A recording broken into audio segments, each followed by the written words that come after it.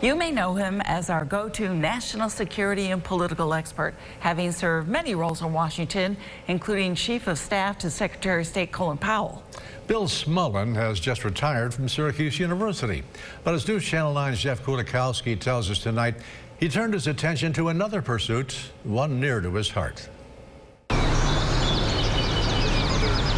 Tucked away on a quiet bluff in Chittenango with an incredible view is Clear Path for Veterans. Every community in America needs to have what we are, a facility that is available to veterans of all eras who need help, who need direction, who need guidance, who need a helping hand, who just need a handshake or someone to pat them on the back. Today, volunteers, some of them vets, are preparing food for the canteen, a complimentary lunch every Wednesday for vets and their families. Last week, it drew 200. This is my opportunity to contribute to the wellness of veterans every day, not just some days as I did in uh, my previous life. Smullen, a Vietnam vet himself, plans to contribute by growing ClearPath.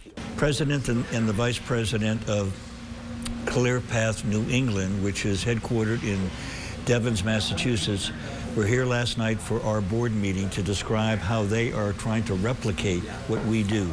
We're also doing it in Broome County, uh, New York, and we're doing it in the Hudson Valley, uh, New York.